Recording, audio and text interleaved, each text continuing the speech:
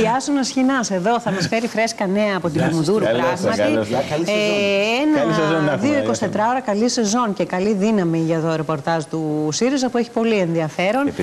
Δύο ημέρες μετά το διαρκές συνέδριο πέντε και κάτι μέρες πριν από, τις, ε, από την νοσοκομματική διαδικασία. δεν το κατάλαβα, συγγνώμη. Λοιπόν, πριν, ε, επειδή με τσίγκλισε λίγο η συζήτηση που κάνατε, ένα εισαγωγικό σχόλιο και μετά θα πάμε στα ρεπορταζιακά. Ναι. Αν ε, τα social media έβγαζαν πρωθυπουργό, ο Κυριάκος Μητσοτάκης θα είχε 10% και όχι 41%.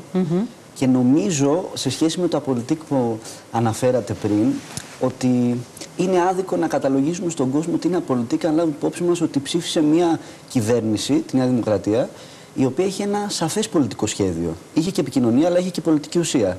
Και ο κόσμος πείθεται από τη σταθερότητα, κατά τη γνώμη μου.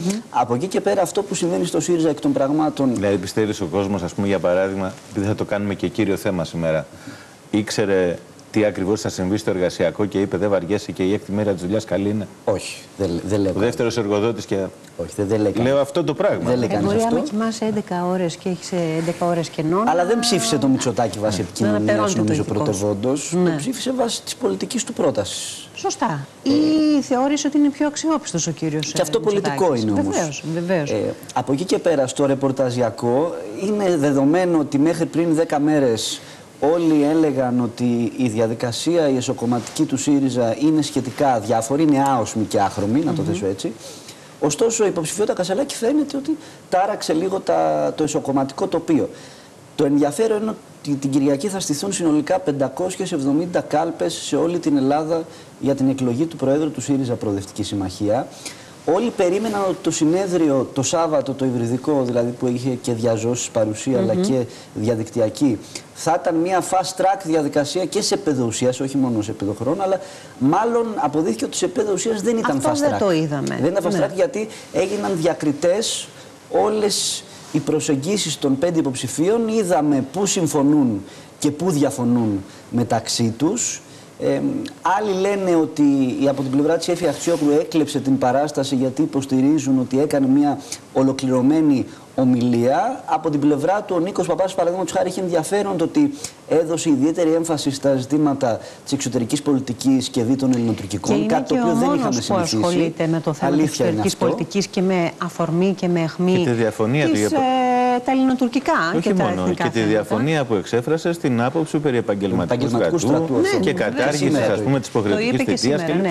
Αυτή είναι μια διαφωνία που αφορά την υποψηφιότητα Κασελάκη και την πρότασή Και είναι ουσιαστικό ζήτημα το θέμα των Εμένα αυτό μου αρέσει πολιτικής. Για μένα η κουβέντα έτσι πρέπει να γίνεται. Κομμάτι-κομμάτι και με καθαρές πολιτικές θέσεις. Γιατί όταν καλούνται οι άνθρωποι να ψηφίσουν τον αρχηγό του κόμματος που υποστηρίζουν, προφανώς δεν θες να ε, ε ψηφίσεις center for και να σου βγει center back. Για να το ποδοσφοροποιήσω και σωστό, λίγο. Σωστό είναι αυτό. Από την πλευρά του Ευκλήδης Τσακαλώτος έβαλε το δικό του στίγμα αναφορικά με τον τρόπο λειτουργίας του ΣΥΡΙΖΑ, που και αυτό έχει ενδιαφέρον. Και από την αρχή το βάζει Σωστό. και είπε κάποια πράγματα. Ε, Έκανε και μια αναλυτική παρουσίαση συγκεκριμένων προτάσεων. Εγώ Σωστό. θέλω την αριστερά που απευθύνεται στα κινήματα, στις ε, κοινωνικές μάζες, έτσι δεν είναι; Ακριβώς, ακριβώς.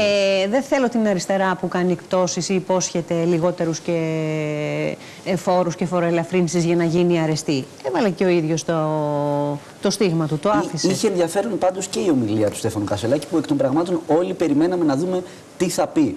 Ε, η αλήθεια είναι πως ε, απέφυγε τα πολύ συγκεκριμένα, αν και κατά τη χθεσινή συνάντηση που είχαμε οι δημοσιογράφοι που καλύπτουμε το, το ρεπορτάζ της Κουμουνδούρου με τον Στέφανο Κασελάκη στο κέντρο της Αθήνας, η αλήθεια είναι πως εξέπεμπε μια αυτοπεποίθηση η οποία δείχνει έναν άνθρωπο ο οποίος έχει πιστεί για αυτό που θέλει να κάνει, έφερνε και φέρνει νομίζω κάτι καινούριο, δηλαδή είναι κάτι διαφορετικό στην πολιτική σκηνή, όχι μόνο για το ΣΥΡΙΖΑ, συνολικά για το ελληνικό πολιτικό σύστημα. Άρα έχει πράγματα να πει και το ενδιαφέρον το οποίο κρατάω από τη χθεσινή συζήτηση που είχαμε με τον υποψήφιο πρόεδρο του ΣΥΡΙΖΑ είναι πως ο ίδιος, ακόμη και να μην εκλεγεί πρόεδρος, παρόλο που πιστεύει ότι θα εκλεγεί, σε περίπτωση που δεν εκλεγεί, ξεκαθάρισε ότι θα μείνει στην πολιτική σκηνή, θα μείνει στην Ελλάδα και θα μείνει να βοηθήσει τον ΣΥΡΙΖΑ. Και ότι θα παραμείνει στο ΣΥΡΙΖΑ. Ακριβώς, ακριβώς. Αυτό ακριβώς. είπε. Είναι, μια, είναι μια ενδιαφέρον, ένα ενδιαφέρον Επειδή δεν θέλω να τον αδικήσω και ειλικρινά ειλικρινά το λέω, ε, θεωρώ ότι όπως και αν έχει, ακόμα και αν δεν εκλεγεί, δεν θεωρείται τουλάχιστον μέχρι πρώτη όχι φαβορεί, ούτε καν εκ των γνωστών υποψηφίων. Κανείς δεν περίμενε να είναι υποψήφιος, ναι. Ακριβώς αυτό. Ε, θέλω να πω ότι μια υποθήκη σίγουρα την εγγράφει αυτή τη στιγμή. Και ότι συζητάμε, ε, ίσως περισσότερο για αυτό να πω ότι συζητάμε ξέρω, για τον Τζακαλώτο που ναι. έχει περάσει πόσα χρόνια, δεκαετίες στην ανανεωτική αριστερά ή ε, ακόμα και από την Αχτσιόγλου η οποία έχει εμφανιστεί ως φαβορή τουλάχιστον τις τελευταίες, ε, μετά την παρέτηση του Αλέξη Τσίπρα ή δεν συζητάμε εξίσου πολύ για τον Νίκο Παπά ο οποίος έσπασε αυγά. Καλός, κακός, ήταν αυτός που μπήκε μπροστά και έπαιξε κουτουλιές. Ή ακόμα, ακόμα για τον Στέφανο Τζουμάκα, όπου κανείς μπορεί να έχει την άποψή του, αλλά δεν μπορεί να αμφισβητήσεις ότι από τον καιρό του Πολυτεχνείου είναι εκεί. Ήταν πολιτικότατος πάντως το διαρκέ συνέδριο ο Στέφανο Τζουμάκας. Είτε συμφωνεί, είτε δεν διαφωνεί κανείς. Εγώ θα έλεγα ότι τουλάχιστον οι τέσσερις από τις πέντε ομιλίες ήταν αμυγός πολιτικές με τις διαφορές τους και τις διακρίσεις τους η καθεμία. Και κρατάω από τον Στέφανο Τζουμάκα ναι. την ανάλυση που έκανε γύρω από τις γεωπολιτικές ανακατατάξεις που υπάρχουν και το ρόλο της Ελλάδας στον ε, λεγόμενο διεθνή καταμερισμό της εργασίας, ας πούμε. Ήταν μια ενδιαφέρουσα ομιλία και από την πλευρά του Στέφαν Τσουμάκα. Νομίζω ότι δεν θα ε, βαρεθούμε δεν, καθόλου τις επόμενες δύο εβδομάδες. Ε, εγώ θα ήθελα απλώς να κάνω ένα σχόλιο και πείτε μου και εσείς τη γνώμη mm σας αν ε, θέλετε. Να τοποθετήσουμε την υποψηφιότητα Κασελάκη, το πρόσωπο Κασελάκης και ας βάλουμε οποιοδήποτε όνομα στο Κασελάκης ή ας το αφήσουμε ως Κασελάκης ε, σε οποιοδήποτε άλλο κόμμα. Πάλι την ίδια συζήτηση δεν θα κάναμε. Δηλαδή, αν ένας Κασελάκης εμφανιζόταν στο Πασόκ στην εσωκομματική δραστηριότητα και στις εκλογές που έγιναν πριν από δύο χρόνια ή στη Νέα Δημοκρατία και δημιουργούσε αυτό το κύμα συζήτησης και σήκωνε τόσο σκόνη χωρίς να θέλω να πω ότι αυτή η σκόνη είναι με σωματίδια αιωρούμενα και επιβαρύνουν την ατμόσφαιρα την πολιτική. Ε, ούτε, και, ε, ούτε, δεν, ούτε και χρυσόσκονη. Μπράβο, ούτε και χρυσόσκονη. Δεν θα κάναμε προβολή, δεν θα συζητούσαμε για το φαινόμενο Κασελάκης ή όπως αλλιώς λέγεται. Γιατί μένουμε ότι στο ΣΥΡΙΖΑ έγινε αυτό; Δηλαδή είναι και λίγο πολύ... μια υπερβολή κατά θα, τη γνώμη μου. Θα σου πω γιατί νομίζω ότι πολύ καλά κάνεις και το προκαλείς. Ναι. Ε, είναι μία αναμενόμενο. Σωστό. Σωστό. Είναι το πρόσωπο το οποίο δεν περιμένεις να δεις ως υποψήφιο του ΣΥΡΙΖΑ. Επίσης, εγώ δύο φορές τον είδα εδώ, στο Άτικα και ε, στο γείτονα, στο, στο Action. Τον είδα στο μακιγιάζ, είπαμε μια καλησπέρα. Είναι ένας πολύ ευηδής mm -hmm. νέος άντρας, έτσι. Ένα πολύ όμορφος άντρας. Εγώ νόμιζα ότι ήταν ηθοποιός μέχρι να τον γνωρίσω. Ναι. Ε, έχει μια λάμψη, δεν μπορείς να το προσπεράσεις τόσο εύκολα αυτό. Επίσης, ανεξάρτητα με το τι πιστεύει ο καθένας για το τι κάνει ο καθής από εμάς στην προσωπική του ζωή, mm -hmm. ε, εντάξει, ένας υποψήφιος αρχηγός που βγαίνει και δηλώνει ε, ότι έχει παντρευτεί με έναν άντρα στην Ελλάδα το 2023 σε κάποιους γράφει και θετικά. Και σε κάποιους άλλους γράφει αρνητικά. Που έχει σχολιαστεί. Έτσι δεν είναι. Αυτό για μένα όμως, επειδή λες είναι στο ΣΥΡΙΖΑ, ξέρεις τι δείχνει για μένα, Γιώργο, ότι είχε δημιουργηθεί ένα στερεότυπο βοηθούν τον και των μέσων ενημέρωσης αλλά και άλλων πολιτικών κομμάτων ότι ο ΣΥΡΙΖΑ έχει ένα ε, ιδιαίτερο μοντέλο εμφάνισης, παρουσίαση πολιτικών προσώπων και στελεχών που το πλαισιώνουν. Για τους πολιτικούς ισχύει γενικώς πάντω αυτό για το ΣΥΡΙΖΑ. Δηλαδή ότι είναι μετρημένοι, δεν φορούν γραβάτα, δεν φορούν στερνά μπλουζάκια, δεν είναι όμορφοι. Έχουμε ακούσει και διάφορα άλλα. ο κύριος Κασελάκης στο συνέδριο. Κατάλαβες τέτοιοι χαρακτηρισμοί, ζέοι και διάφορα άλλα. Τι περιμένουμε την ε, Κυριακή; Λοιπόν, απομένουν έξι μέρες οι οποίες για τους υποψήφιους νομίζω ότι είναι μαραθώνιος. Δηλαδή συνεχίζουν τις περιοδίες τους. Από χθες, αμέσως μετά το συνέδριο, όλοι έφυγαν για τα τέσσερα σημεία της χώρας και συνεχίζουν τις περιοδίες και τις παρεμβάσεις τους και τις τηλεοπτικές τους συνεντεύξεις. Θα τις εντείνουν αυτή τη βδομάδα, κάτι το οποίο δεν το είχαμε δει το προηγούμενο διάστημα.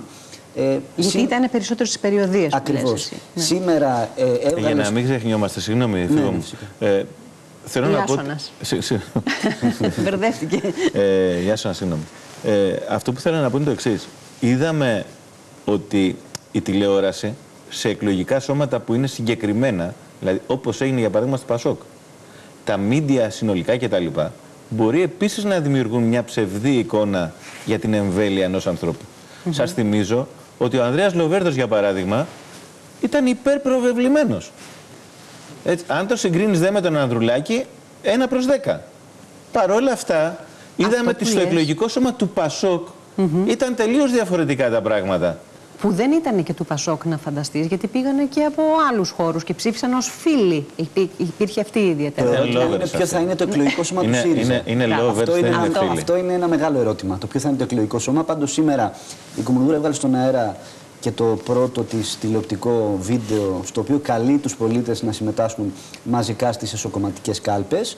Έξι μέρες που είναι μικρό χρονικό διάστημα μαραθώνιος κατά τη γνώμη μου για το στρατόπεδο της αξιωματικής αντιπολίτευσης προκειμένου να πετύχει έναν αριθμό συμμετοχής που θα τις εξασφαλίσει ε, να, για την ακρίβεια να δώσει μια λάμψη σε αυτή τη διαδικασία. Γιατί υπάρχει και ο κίνδυνος να μην είναι μια μαζική διαδικασία, οπότε να. Ένα τελευταίο. Ναι, ναι. Γιατί πραγματικά, τουλάχιστον από μένα, τελευταία η Δούλα μπορεί να έχει ακόμα δεκάδες ερωτήσεις. Καλύπτει αυτό το ρεπορτάζ χρόνια. Οπότε καταλαβαίνω ότι μπορεί να υπάρχουν και άλλα πράγματα που εγώ δεν τα σκέφτηκα. Όμως, ε, ειλικρινά, το ότι δεν έχουμε debate μου προκαλεί αλγινή εντύπωση.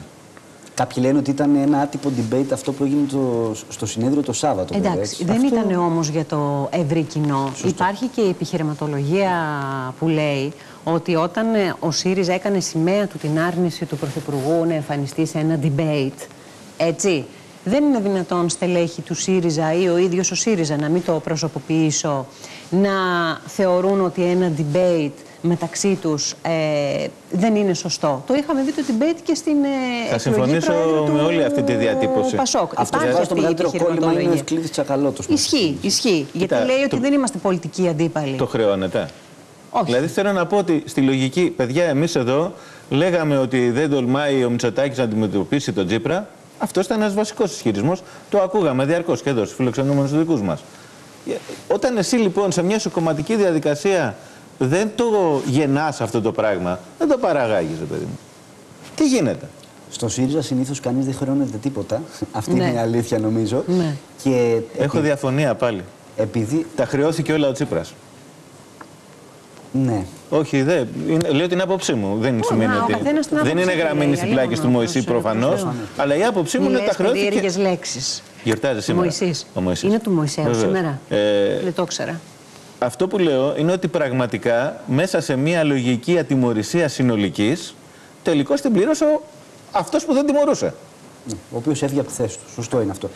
Τελευταίο, απλά να σας πω ότι η συζήτηση για το debate, επειδή από την πλευρά των Νίκος Παπά ναι. προκρίνει την 7η Σεπτεμβρίου ως την καταλληλότερη ημερομηνία, είχε υπάρξει μια συζήτηση μεταξύ των επιτελείων πριν από 10 ημέρες, την ναι. προηγούμενη Παρασκευή, για την ακρίβεια, ε, είπαν ότι θα συζητήσουν την Τετάρτη. Την Τετάρτη εν τέλει έγινε πολιτική γραμματεία. Ναι. Δεν ζήτησαν ποτέ από τότε για το αν εν τέλει. Είναι Δευτέρα. Εγώ το αποκλείω την Πέμπτη να οργανωθεί ε, debate στη δημόσια τηλεόραση και έχω δει ότι τουλάχιστον το πρόγραμμα του Τσακαλώτου, του κυρίου Τσακαλώτου, έχει την Πέμπτη στη Θεσσαλονίκη μια πολύ σημαντική συνάντηση, διήμερη επίσκεψη στη Θεσσαλονίκη και υποθέτω ότι και άλλοι υποψήφοι πια βάζουν στο πρόγραμμά τους περιοδίες ή ομιλίες. Νομίζω δεν υπάρχουν κενά γιατί... στα προγράμματα των υποψηφίων. Ακριβώς.